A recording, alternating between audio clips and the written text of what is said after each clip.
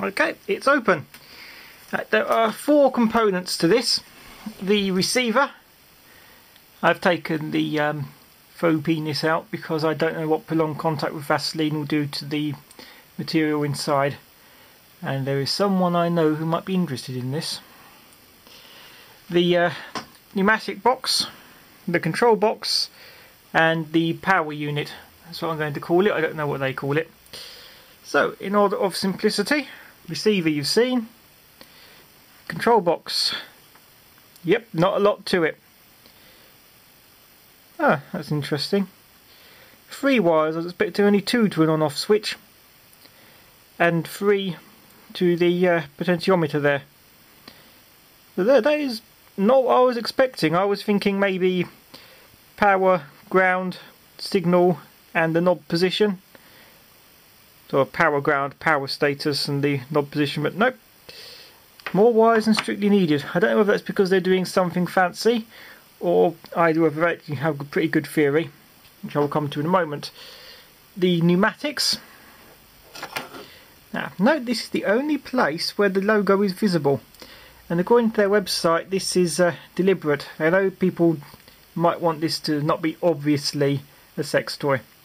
So they don't stick their logo everywhere, and the mysterious black box is actually designed to be a mysterious black box. You can't really see it very clearly. Let me bring it close to the light. Down the bottom there, one that corner, one in that corner. Those are one-way valves in different directions. So tube comes in, T-piece, one branch to each of the push buttons which are open when pressed and from there each one goes to the valve so fairly simple design. This is where the interesting stuff happens. Right. There are three major components within this the electrics, the mechanics, and the motor. I get a close up of this label, you should be able to. Yeah, that's not working, so I shall have to read it to you. It is a Bodine Electric Company gear motor, so integrated gearbox and motor. Type 24A4BE PM3F, volts 90, hertz DC, FF, whatever that means, uh, 1.0, amps 0.75, HP 116. Now, this is Americans, they don't like proper units and gave it in horsepower rather than watts. So I assume that's what it is. That comes to about 50 watts, which looks about right. And uh, there, that is enough to scare me. And the ratio on the gearbox 15 to 1.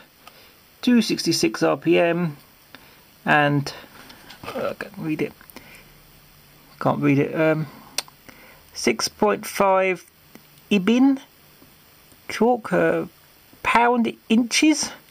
America use, use proper units. That's a pound inch. Uh, Newton meters people. Why is it the, the only well one of two countries in the world that cannot use the metric system? Right, gearbox leads to, uh, so, yes you can adjust the stroke length at the factory by changing which hole that's screwed into. It's currently in the shortest length so people more adventurous than I might well open this up and put it on the longer stroke length. And that hooks up to that chamber. So, um, if I can get the power hooked up again. and the control cable. Well, I've got a camera. You don't expect a proper studio from me, do you? Yeah. So what? If I get 100,000 views on this, I'll get myself a proper work table and a tripod for the camera so it's not waving around. There we go. That's how it works. See, this is a. Uh, apart from the ports, the the accessible ports, this chamber is sealed very uh, well constructed. That feels solid. Material has aged well.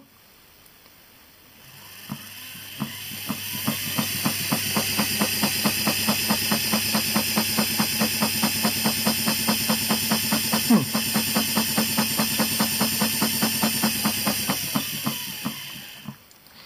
Once again, I repeat, not sticking it in there.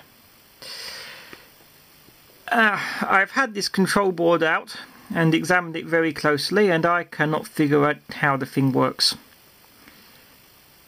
It's got your standard uh, voltage protection stuff on there. Two independent power supplies as far as I can tell, one for the control electronics and one for the motor.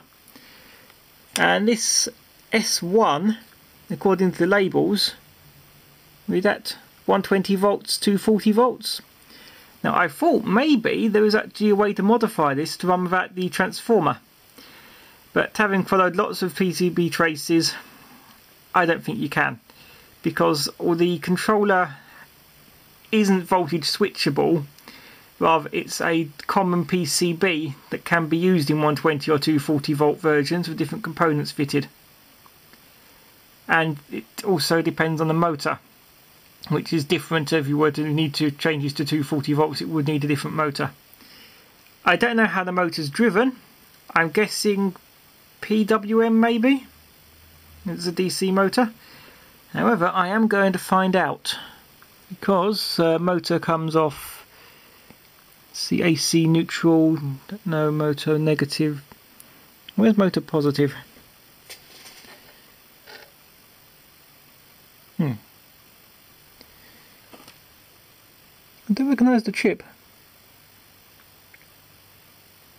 There's a bit like a PIC in there. Okay, I will find the motor negative and hook up my scope and see what's going on with it.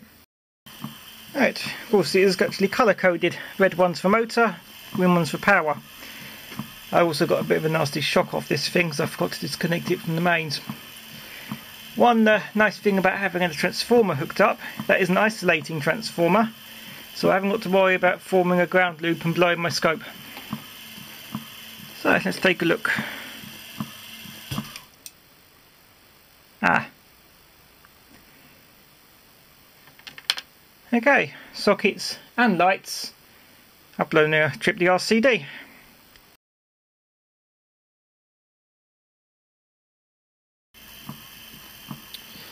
Oh, don't know quite what happened there. This, uh... Hmm. Okay. Let's try again. Connect scope ground to motor negative, like so. Ah. I know what it is. I'm guessing that uh, no, that can't be in a big enough difference. What is going on? I reckon that for some reason motor negative is actually connected to ground and we've got ground continuity on that transformer and not circuit ground, proper earth ground. But that would require the transformer be isolated, so the motor be isolated and that little transformer sure not powerful enough for that. Okay, I shall go restore power.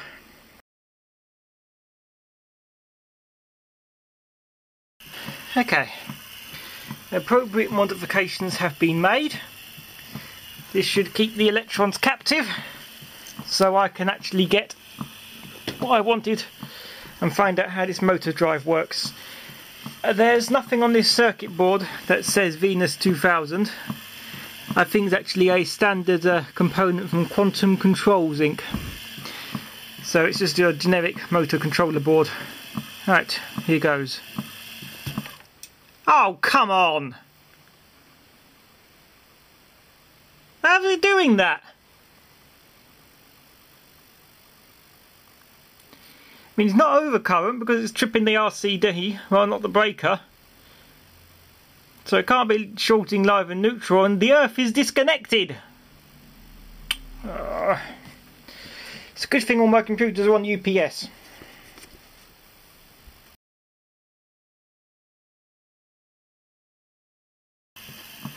Okay, so that bad idea. Maybe if I try hooking this up to the other side of the motor instead. Like that. And you go. Uh, okay, today we shall not be learning what kind of power that motor's getting. Let's just assume it's some kind of is either convert to DC and PWM or run it off halfway before rectified AC with a waveform chopper.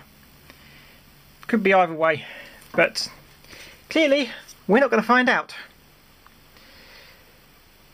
Um, I'm going to reassemble this thing, put it back in storage. If you ever want to get one apart yourself, it all comes off apart fairly easily. Don't take the screws on the bottom off, they only hold the feet in. You want the hex screws, two on each side. Mechanism is fairly easy to understand. So, I think that's everything.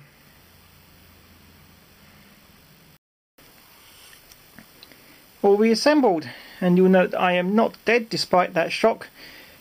Uh, rookie mistake that I just got so distracted trying to get a decent contact on those motor lines. So it was only in one arm. I tested it still works.